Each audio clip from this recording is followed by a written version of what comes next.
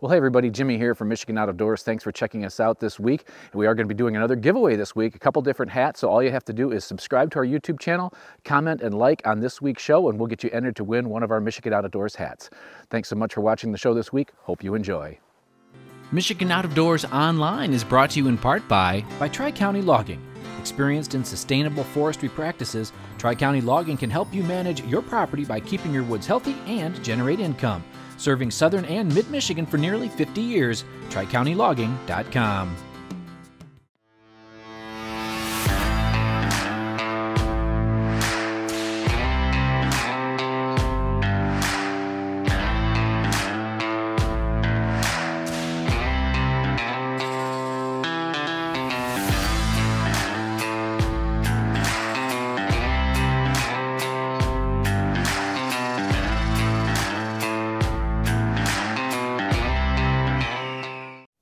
Hello, everybody. Welcome to Michigan Out of Doors. I'm Jenny Silik, and we have a brand new show lined up for you this week. Jordan's going to take us to the northern part of the state where he tagged along with some steelheaders for the day. They had a blast out there. You won't want to miss that story.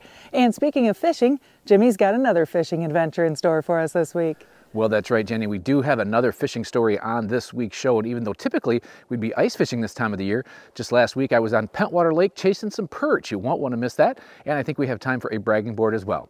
Lots of good stories on this week's show. You stay tuned.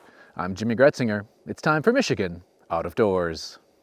From the first spring rains to the soft summer breeze, dancing on the pine forest floor. The autumn colors catch your eyes. Here come the crystal winter skies. It's Michigan, Michigan out of doors. What a beautiful day in the woods. Someday our children all will see this is their finest legacy. The wonder and the love of Michigan as the wind comes whispering through the trees. The sweet smell of nature's in the air. Great Lakes to the quiet stream, shining like a sportsman's dream. It's a love of Michigan we all share. Michigan Out of Doors is presented by by Country Smokehouse, a sportsman's meat processor and Michigan destination since 1988, offers a variety of homemade smoked meats and Michigan-made products in-store and online. The Country Smokehouse features an outdoor barbecue and bar. Details at countrysmokehouse.com by RBM Jigs, a Michigan based company serving ice fishing anglers around the state and throughout the country. Specializing in ice fishing gear, RBM Jigs manufactures tungsten jigs, soft plastics, and much more. Online at lakeeffectlures.com. By AnglerQuest Pontoons. AnglerQuest is a Michigan based company building boats designed for comfort and fishing functionality. For more information, anglerquestpontoons.com.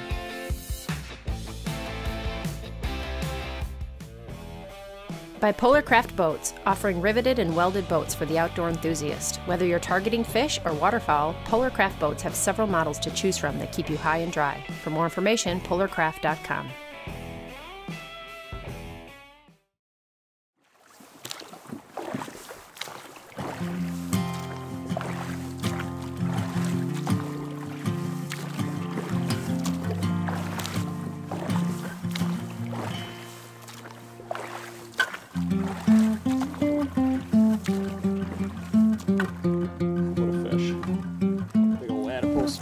wild fish.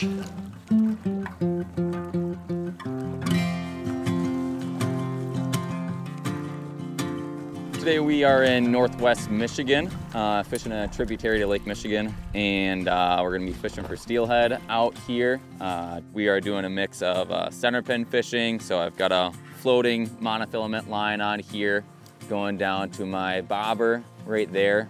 Uh, for my weight system, I use a sliding uh, egg weight right there, going down to my first swivel.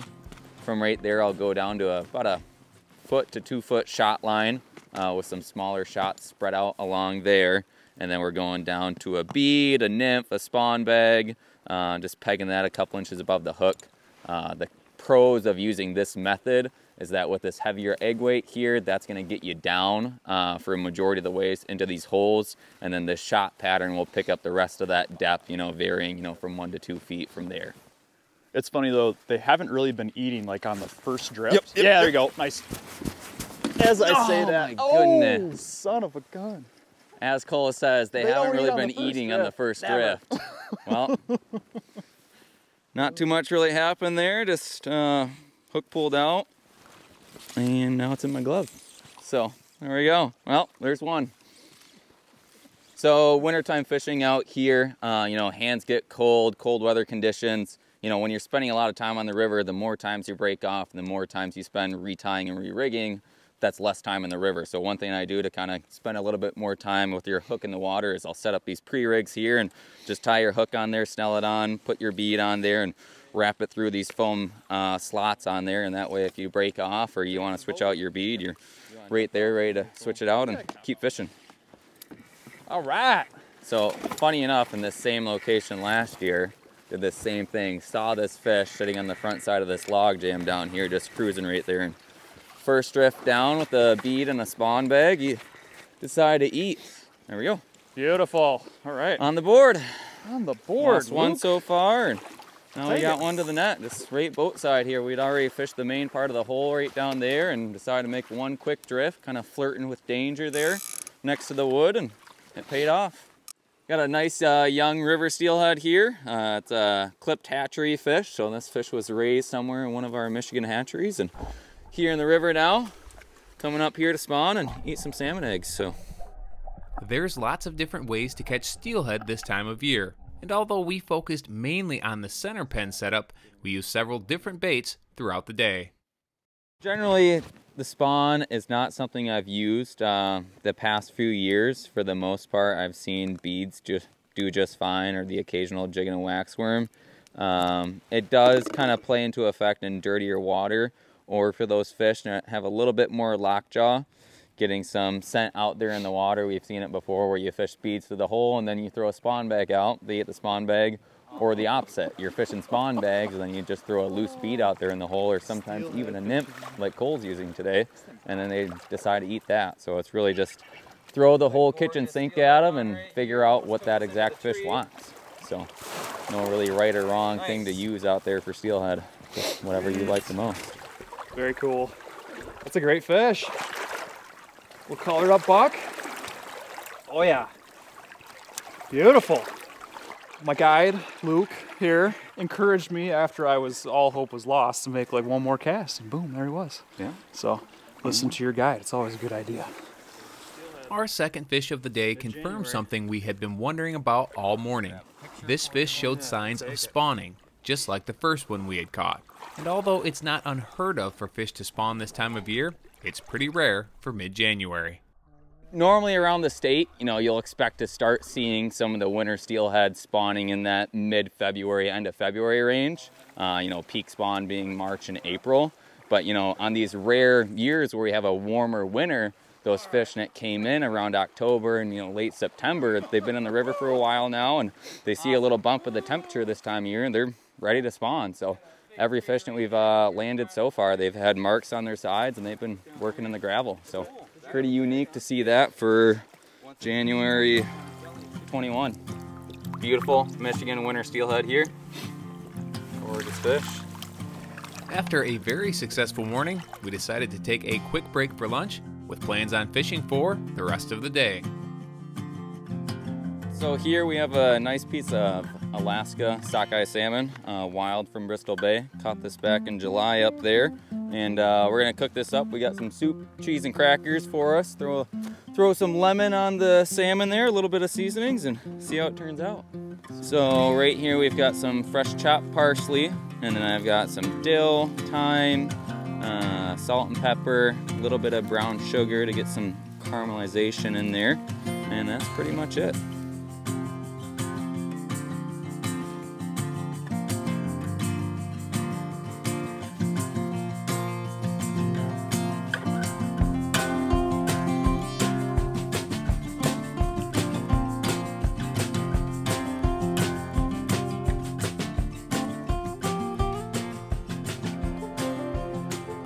As we made our way downriver, I noticed that these two were very particular about how they fished each hole. So I asked them what their strategy was when they pulled up on a new spot. So usually you start on the inside. Yep. You yep. definitely don't want to bomb it all the way across to the juiciest stuff right off the get-go, especially in wintertime. They sit on that inside sand seam and that slower water. Yep, they'll be closer than you think a lot of times, so you don't want to rush out there and you know risk the possibility of spooking your hole. You know, start out, you know, just barely step in the water a little bit, start fishing that hole close to you, then move your float deeper and deeper, start fishing further out. You don't want to start out trying to drift the whole duration of the hole, even if it looks deep all the way through.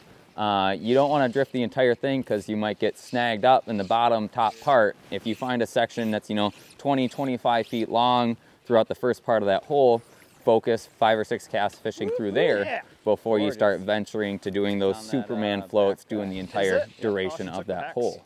That way you're covering the entire hole effectively. You want to mark out these holes like a grid. Right. You don't want to just, you know, randomly be casting in certain spots. You want to break it down so you know that you effectively fished through that entire hole. And if there was a fish there and it wanted to eat, he would have eaten it. Coming to you. Nicely done, Luke. Sweet. Gorgeous. Nice. Very nice. Yeah. Uh, that was on this uh, little hex nymph fly. Kind of a staple in the wintertime when these fish start to get buggy. They've been in the river for a while, start to eat kind of the natural food chain. Uh, great little change up, besides for beads and spawn bags. Worked on her. Yep, yep, yep, yep. Way back there. Big fish, big butt.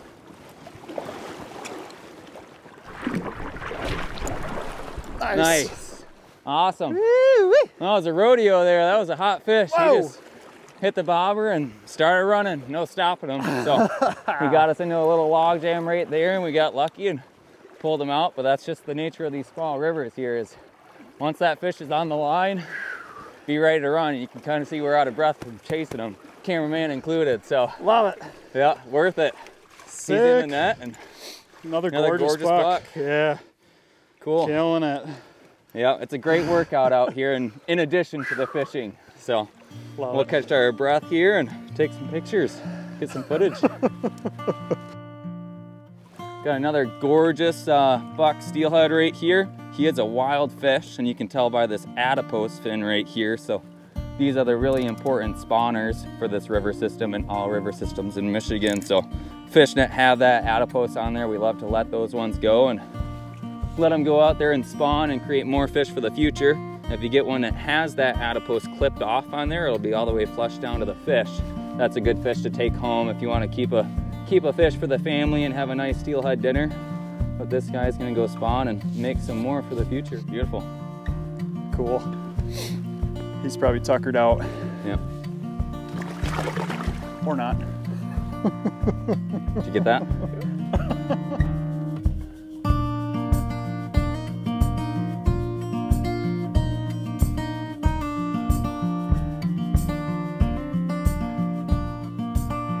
kind of our love for fishing over the past few years uh, has brought us to start guiding on these uh, rivers out here and uh, we're offering single day trips and we're actually going to set up something this year uh, to do all-inclusive hosted trips up here out of a lodge and provide all the food, all the lodging, uh, as well as guided trips. So that's going to be perfect. You know, our our thinking is that we're going to have anglers that either they're they're starting out, you know, they're curious about fishing, uh, don't have too much experience and really want to jumpstart their skill set, or even the guys that you know they fish every single weekend, but they just want to go out and have a guided trip experience, see some new water around here. We're going to fish like four or five different rivers, and that's going to be a cool experience. So I don't know, Cole, if you have anything to kind of talk about that more.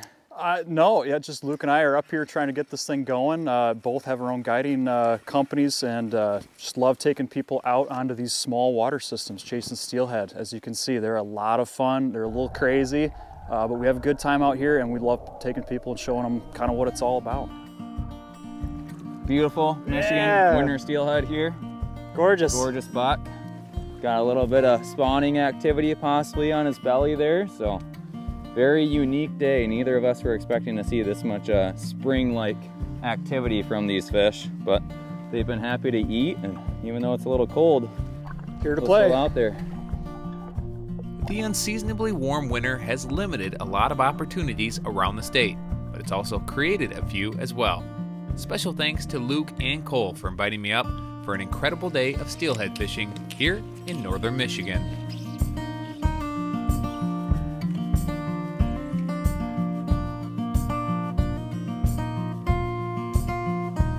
No, it's a rodeo there. That was a hot fish. He just hit the bobber and started running. No stopping him. So.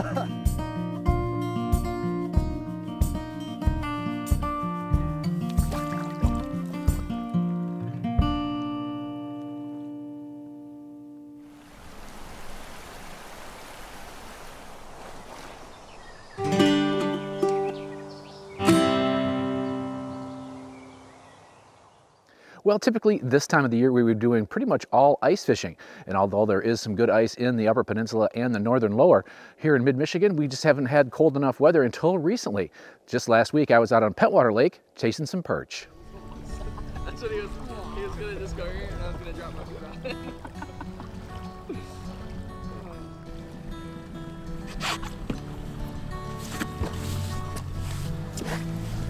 Well, last time I drove a boat was in Marathon, and it was warm, and it was a week ago.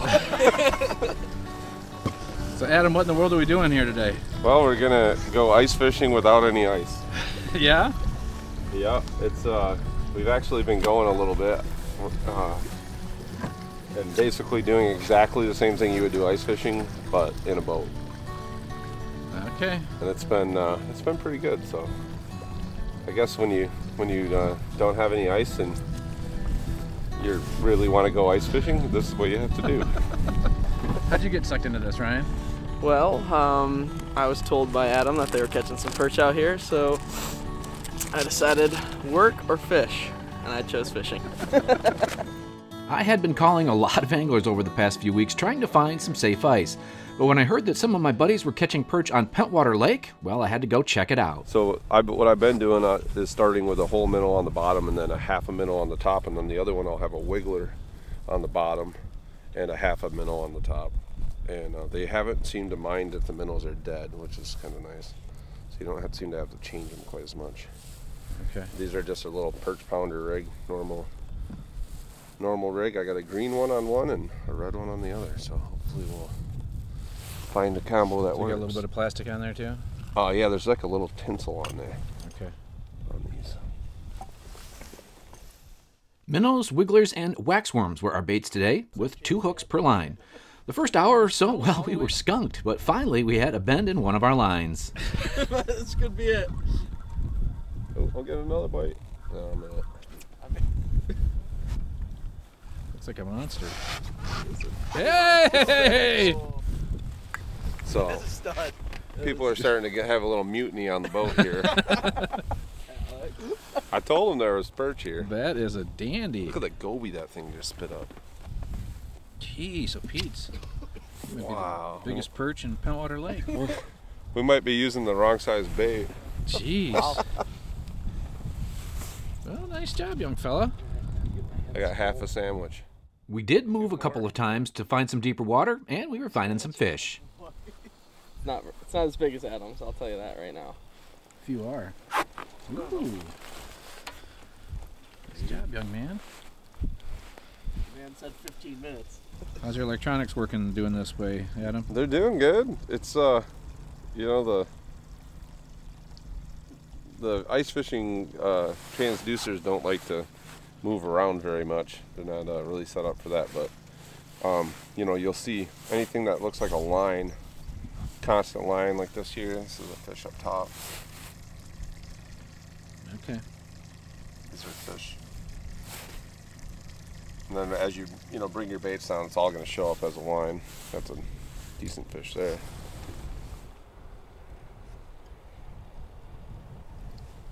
Oh, that's a keeper. Yeah. Will do. Good. What? We got a double? Oh yeah. Big, big one. Well, I wasn't going to take Wow. you guys to my good spot. right Well, thanks for bringing us.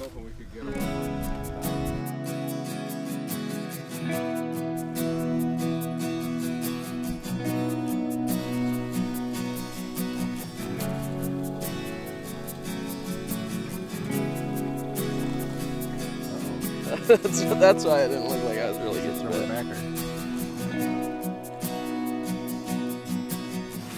Moved it, moved out a little deeper.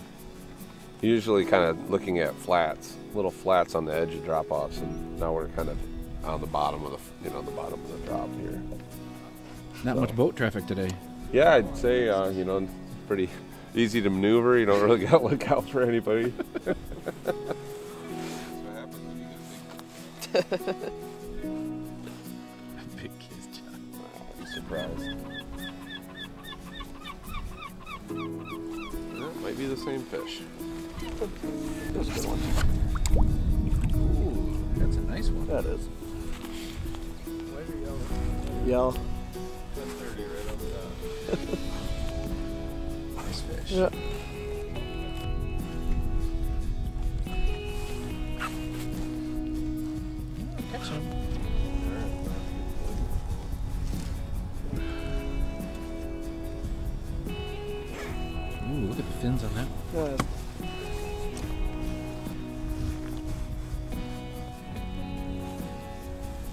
And they're all the same size. Just, just a little shy. Yep. Oh, my bad. Yeah.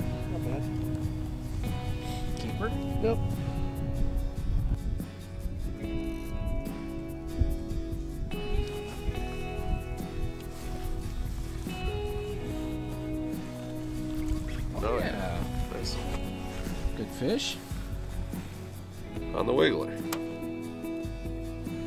Hitting everything, aren't they? They're, They're kinda all over the place. the. Yeah, they're, you kind of got to just keep a keep a mixture of baits.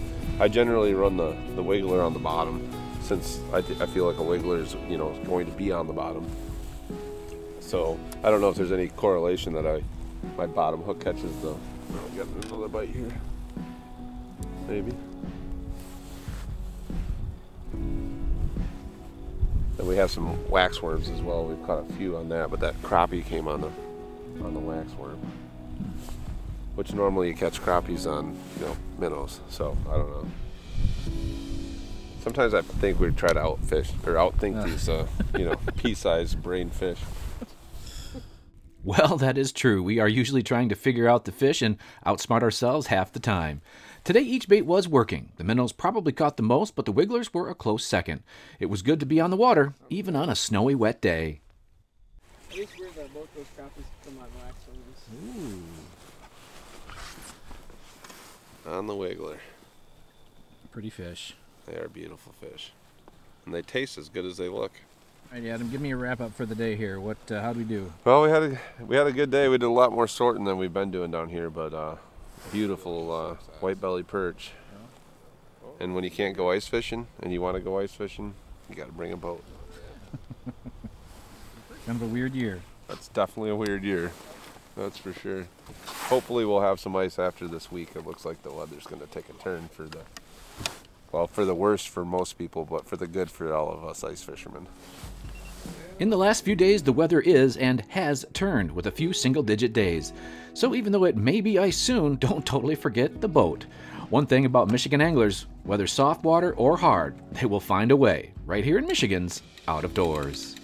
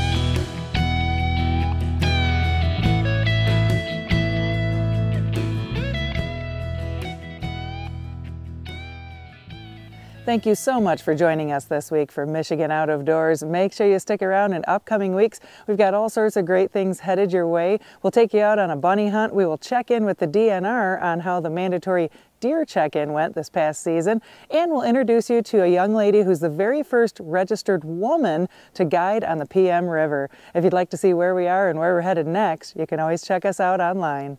Well, that's right, Jenny. Online is a good way to kind of keep tabs on us. You can do that through our website, our different social media platforms, as well as YouTube.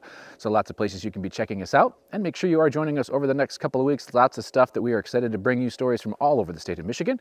If we don't see you in the woods or on the water, hopefully we'll see you right back here next week on your PBS station. Michigan Out of Doors is presented by. Do you dream of somewhere bigger than your backyard? You can get there with Greenstone. Whether you want to hunt, fish, hike, or just watch the sunset, we're ready to help you own your place in the great outdoors. To learn more, visit greenstonefcs.com. By Alta Equipment Company, providing sales, rentals, service, and parts because uptime matters. From earth moving to landscaping and light construction, Alta offers over 50 brands across seven Michigan locations to serve you. More information online or 844 GO, the number 2, Alta by Walker's Creek Event Venue at Double D Ranch. Located in the central Michigan town of Lake, Walker's Creek offers an outdoor setting for weddings, corporate events, and more. Walker's Creek Event Venue, wcvenue.com. By Showspan, producing consumer shows including Outdoor Outdoorama at Novi's Suburban Collection Showplace. The show features tackle, trips, boats, outfitters, the trout pond, and of course, Big Buck Night. That's Outdoor Outdoorama in Novi.